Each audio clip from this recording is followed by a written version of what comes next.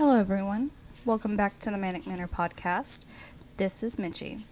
So, for today's episode, we're going to talk about the rooftop Koreans in the 1992 LA riots.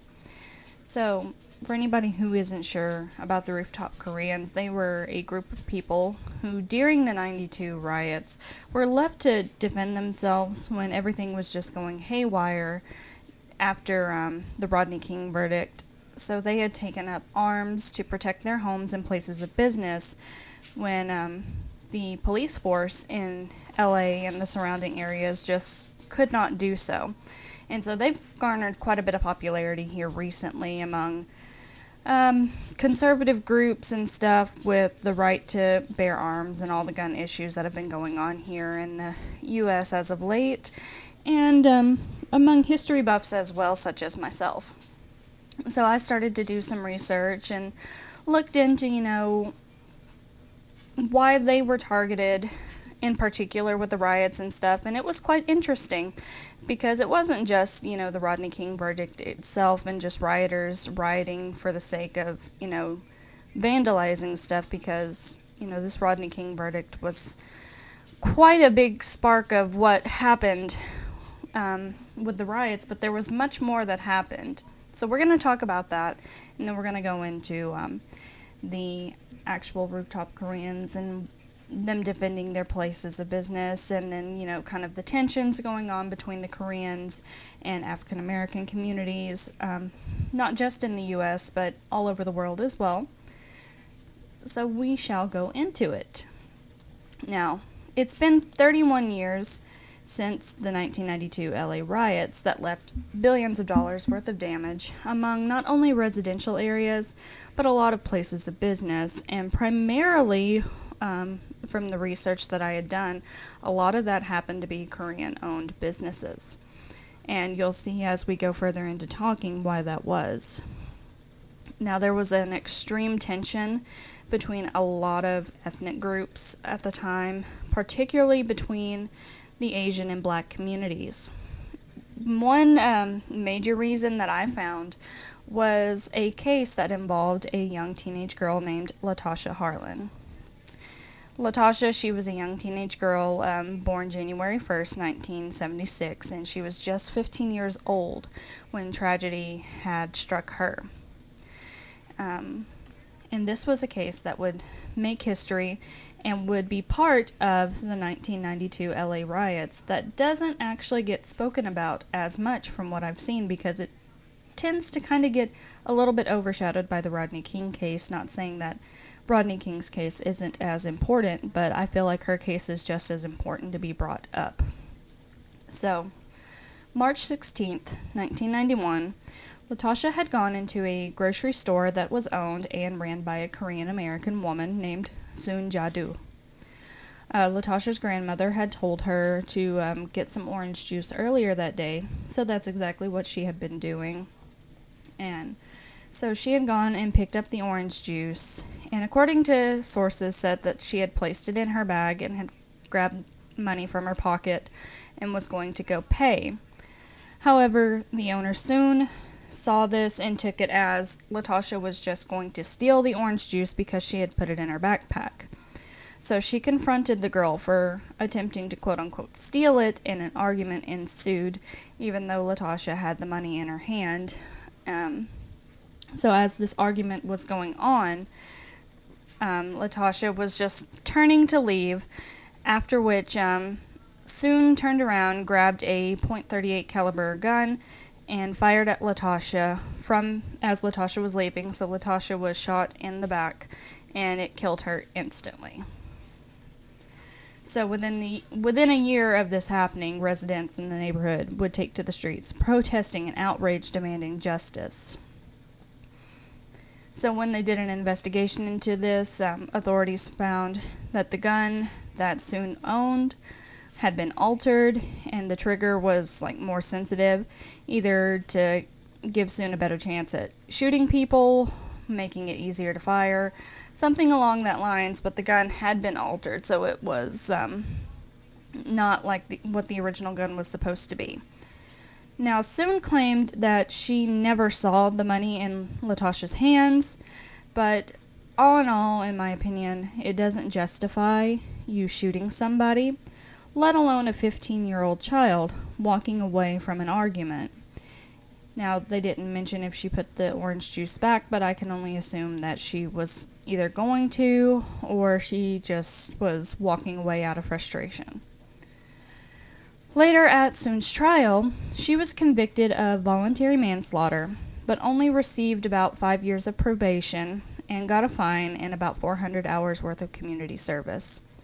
And of course, the African American community was completely outraged because they saw that this was a complete overstep of justice, and Latasha was not getting what she deserved out of this. She was not getting any kind of justice whatsoever. Nothing was properly served. A child lost her life, and this woman was essentially being able to walk away free with no jail time and essentially just a slap on the wrist. And essentially, that is what happened because um, as of the 15th anniversary of the riots, um, Soon had been able to live peacefully in like the San Fernando Valley from what I had researched without anybody really knowing exactly where she had lived. So, needless to say, um, this created a big divide in trust and any kind of formative relation between, you know, Korean American and African American communities in the Los Angeles County area or anywhere within that vicinity. So, not only that, but we I've also mentioned the Rodney King trial. Now, this happened before what happened to Latasha. This story happens on March 3rd, 1991. And we've got um, video that has surfaced around for quite a while about this. Now, at 12:45 in the early morning hours of March 3rd, a parolee named Rodney King had been stopped by the police after an 8-mile-long pursuit through the Los Angeles streets. King had been intoxicated at the time and was caught for speeding by a California patrol officer. However, King didn't pull over. Why or when he um, didn't pull over immediately, we don't know, but when he didn't, um, other police decided that they were going to join in on this pursuit, taking him like as a threat. And when he finally did stop, several officers swarmed the vehicle, ordering King to exit. Now, during this time, King had two other people in the vehicle, they stated, and they were made to exit as well and lay on the ground. Now, due to King possibly being intoxicated, he was a little bit slower to respond to the orders of the police, and this potentially angered the officers. As a result, um, officers Lawrence Powell, Timothy Wind, Ted um, Briseno, and Roland Solano forced King out of the car and down onto the ground. And of course, King kind of resisted from this and was stunned twice. Now, the stun gun in question was noted to have had a charge of about 50,000 volts. So, with all of the commotion, King being knocked onto the ground, and after being stunned twice with this stun gun, and now he's being beaten apparently with like batons and fists and being kicked. Um, uh, even with it being 12:45, 1 o'clock in the morning, people are starting to notice because there's a lot of commotion, a lot of sound being made. So, a nearby civilian by the name of George Holliday, uh, he was on a balcony nearby and had a video camera with him. And this is where we find that infamous footage of Rodney King being beaten. This would become that infamous video that would last around 90 seconds. King rises after being tased. Um, it kind of looks like as he's running, there's an accusation that the officers threatened to kill him as well. Um, it's noted that because of the helicopters that were involved in this chase of the incident, that the audio isn't clear whatsoever. So there's not much really known about what was really said. But King claims, um, he claimed actually, I should say, before he had died, that they swore that they would kill him and called him the N word. So the entire video catches Powell beating King with a baton multiple times, as I said, while Briseno roughly steps on King's upper back and neck, and more can be seen um, during the duration of that 90 second video as King is trying to shield himself from being, you know, hit as a protective measure before they finally handcuff him. In the end, um, George Holliday ends up taking the video and selling it to a local TV station that would later broadcast this footage and result in the outrage among, you know, the black community and this outrage would lead to a trial of all the officers involved. And of course, these officers, because of the due process laws and everything that we've got in the United States, so they would get a fair trial. They move the trial from Los Angeles County to Ventura County. However, um, despite having video evidence of the officers beating him, despite um, the claims that King had. Um, all the officers involved were found not guilty. All except for an assault charge against Officer Powell that ended up in a hung jury. So, with that being a hung jury, he got off scot free. And this is where we get the starting point for the 1992 LA riots. Now, we see now the two major jumping off points that made the protesters so upset and angry, feeling as though the legal system had completely failed them and was turning their back against them. There were many people um, who wanted to, you know, peacefully protest this and call forth attention to, you know, the um, police brutality and the racism and injustice that was going on in the country because there was a clear abuse of power that was going on. Granted, you know, nobody should be driving intoxicated because that's a dangerous thing to do, endangering your own life as well as other people's lives. But the sheer force of it, people naturally were upset because there's. It just seemed like a complete abuse of power. But where you also have people who want to seek justice, you also have people who want to create chaos as well. And we could see that in the form of these protests. So, when the verdict came out on April 29, 1992, the police force predicted to a degree um, that the protests would happen, but they didn't know exactly how bad things could possibly get.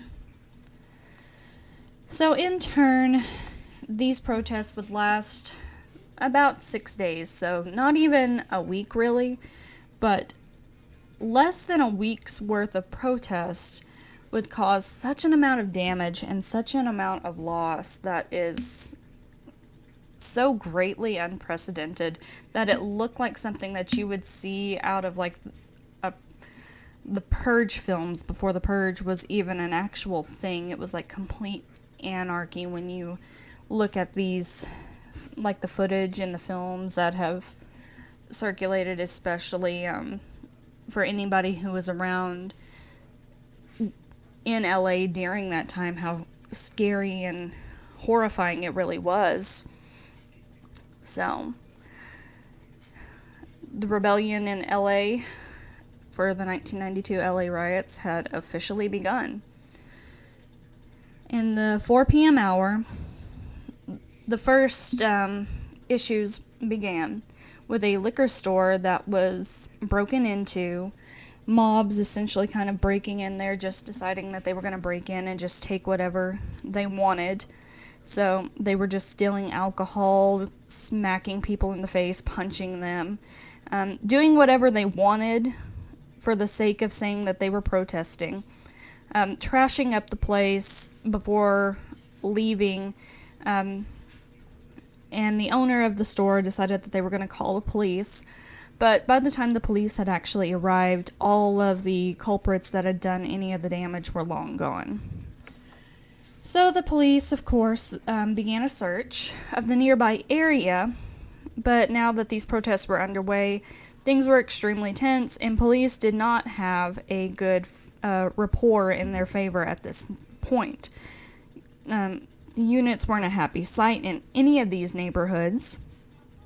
So, as the vehicles were going, you know, patrolling the areas up and down, there were some there were some kids, teenagers, young adults throwing rocks, stones, whatever they could at the vehicles.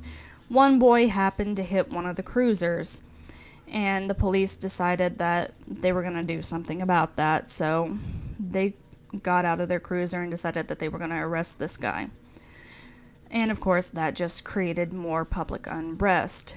And so it was like a swarm of locusts coming down on the authorities, telling them to leave this guy alone. So it got so bad that eventually the police just had to evacuate that area. And before they knew it, within a few hours, it was like a humongous, like, plague virus just engulfing Los Angeles. Just stores being looted, people are being beaten, people are being ripped out of their cars. Something that started from a simple protest against um, these like four policemen that have been beating on this man to now an entire city is being set on fire and civilians just passing by on the street trying to like deliver stuff are being ripped from their cars because everything's completely out of control. I mean, at one point, um, news anchors were doing coverage of these protests. There was, um, I think there was an immigrant on one thing that I saw, like a coverage that I was looking at named Choi Si Choi, um, and a trucker named Reginald Denny. They were being brutally attacked and pulled from their trucks as they were trying to work. It was so crazy.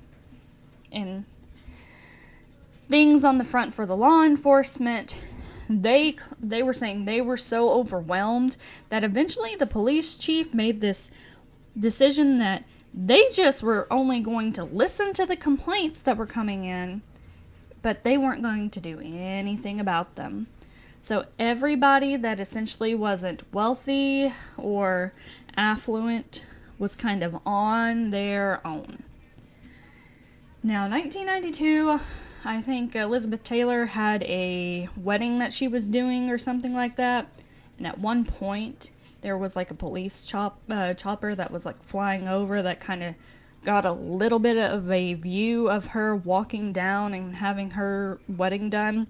So you got to see how detached from reality like celebrities were at this point. Meanwhile, the majority of, you know, Hollywood and everything was literally on fire. So it was freaking crazy. But, you know, that just shows even now how detached everything really is. But violence was still spreading. So by the following morning, around 12:15 a.m., the mayor had signed a curfew for the area from dusk until dawn, hoping to curtail that action. So Los Angeles City was now finally under a state of emergency. However, the violence was still spreading from city to city like a virus.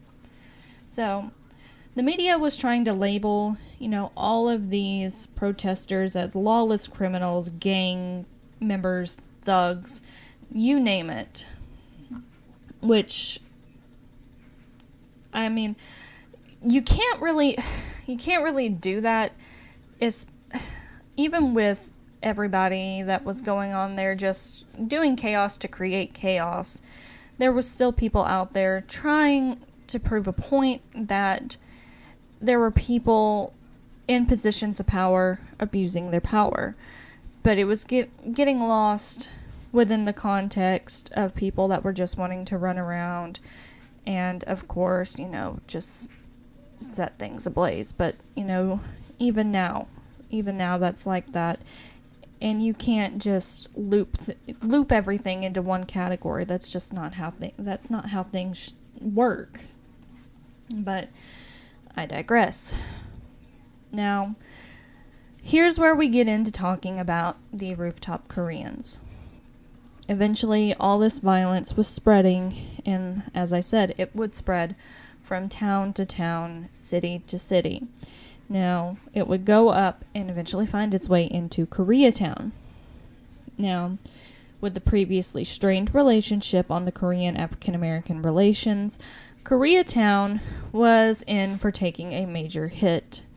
Korean Americans, um, they were they referred to this day as Saigu, literally translating into 249 as in April 29th. Well, understandably, people would be hurt at injustice. These are, or these were Koreans who had come from South Korea, a nation which just itself had come from a dictatorship under the leadership of Chun Doo-hwan. Um, lots of these Koreans were had Korean men who had probably seen some form of military training to a degree because Korea, even back then, still had the mandatory service that you would have to serve. You know, I don't know if it was still the two year kind of uh, mandatory service that they do now or if it was longer that they would have to serve. But they had seen dictatorship, they had seen so many struggles, and a lot of things like the June struggle and, you know, um, the Gwangju massacre and uprising. So they're no stranger to riots. And not only that, uh, some of these people had been defectors from North Korea as well. So they had seen their fair share of shit. And so, either coming from North Korea, defecting into South Korea, and then coming to the United States, or just being from South Korea during a time when they were experiencing so much unrest and reformation before coming to the U.S. themselves to try to start a better life. They were no strangers to this kind of unrest and riot, so it was nothing new. These were people who just wanted to start new lives, build something new for their families, and they weren't about to just let that be taken away from them like any other person who just wanted to defend their livelihood and their property. Now, the riots and the looting came to these biz- businesses, and many of the Korean immigrants were quick to defend these livelihoods and immediately did so with guns drawn. Uh, Richard Park is one that immediately comes to mind and name because he was one at the very forefront. Um, he's widely known because he had informed one of his coworkers or one of his workers. Um, I could only find his name as David. That in the midst of everything going on, he was in a gunfight with a lot of uh, looters. And so his coworker decided that he was going to come and help him. Now, when David and Richard had successfully fought off these looters, word started to spread amongst all the people in Koreatown that this was something that worked and worked very well. So, Koreatown started to huddle together to keep one another safe. Um, they ended up creating their own little vi- vigilante um, police station uh, of, out of one of the local Korean radio stations named Radio Korea, where they would take, you know, distress calls, um, they would listen to other people talk about where they would see uh, potential looters or potential rioters coming in to give other people heads up because they had figured out quite quickly that the local authorities had essentially told them to just fuck off. We're not going to help you. So their mindset was if the authorities are not going to help us, we are going to help each other. So they became their own help. And from there, we see iconic images of the roof Koreans. Um, you know, like the images we see of the Koreans quite literally sitting on top of the roofs of their businesses with the white bandanas tied around their heads with guns in their hands, like the Daewoo rifles and everything, like the iconic images. Um, former Korean Marine veterans. They would gather with their families and friends um, who had all come to America for their new starts to defend what they had worked so hard for. They armed themselves, took to these roofs, firing off warning shots into the air or from various points to where they had, you know, quite literally the high ground to see and scope the area to defend everything. Um, through these methods that they did, they were able to actually successfully kind of defend quite a few of their businesses. Now, of course, a lot of these businesses did suffer quite a lot of catastrophic um, um, detriments.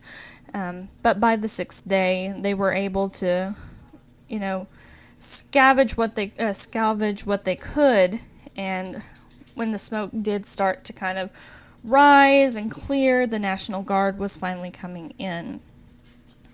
Now, about 45% of the damage that was done to um, all the businesses and everything was Korean owned businesses in the riots. Over 2,300 Korean owned businesses had either been looted or burned.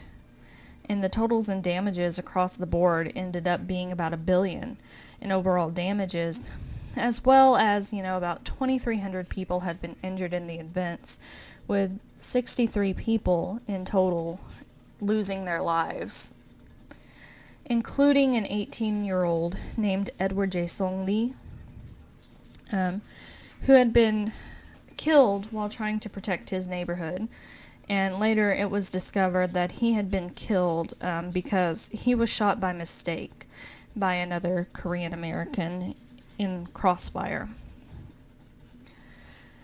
Um, now that it has been 31 years from the date of these riots, since Saigu.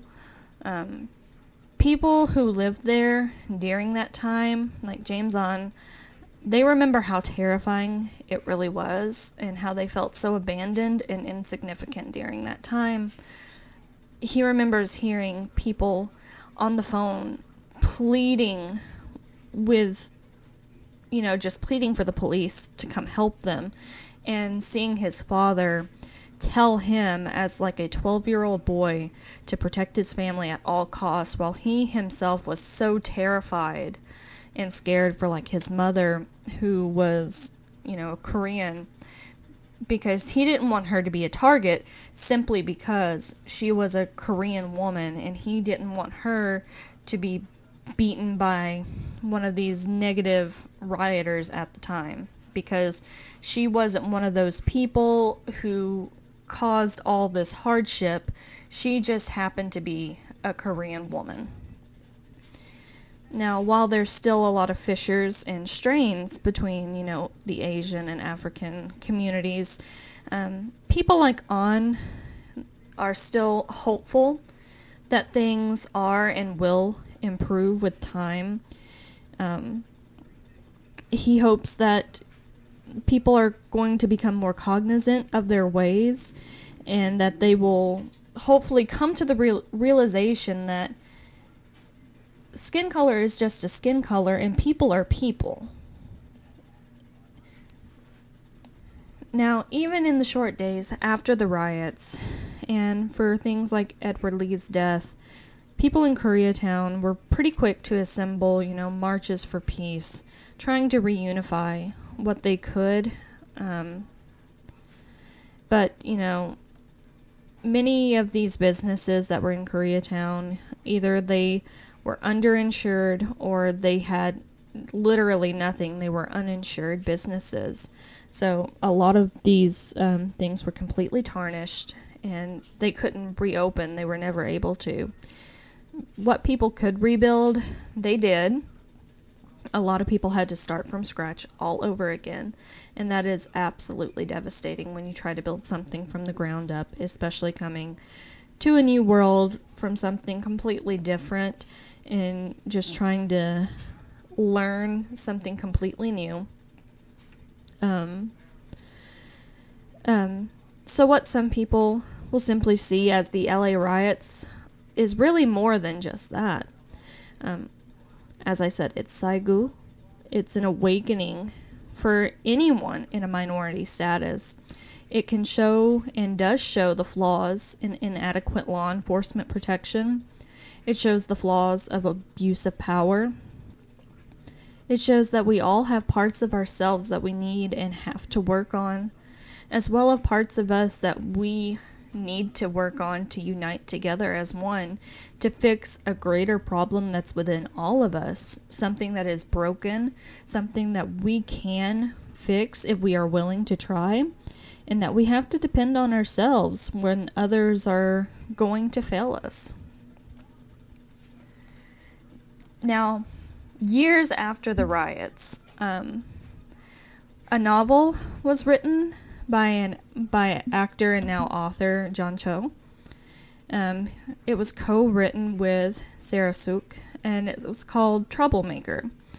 It depicts a Korean American boy named Jordan who encounters um, a lot of incidents during the inf- infamous night of April 29, 1992. And the book came out actually just last year.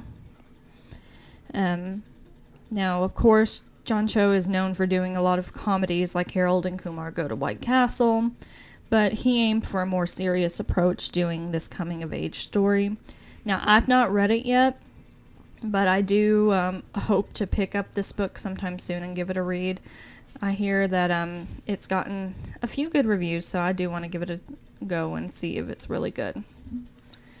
Um, I've heard that this story doesn't overlook the murder of Latasha Harlins, of course, because she was killed by a Korean American store owner a year prior to the events of the riots. So I do applaud John for not overlooking something that a lot of times, um, a lot of um, criticism and, um, you know, Korean American and Korean um, livelihood get for overlooking certain aspects of things. So I do applaud him for that. But that is the story of the rooftop Koreans and how they had a major insight onto the LA riots. So I want to thank you guys for listening in on this story. If you have any other comments or anything you would like to input for this story, if there's anything that I missed out on, feel free to let me know. Um, you can email me at manicmanorpodcast at gmail.com. You can also let me know on Facebook or Instagram at Manic Manor Podcast. Of course, I will have this up on YouTube as well, and you can let me know in the comments too.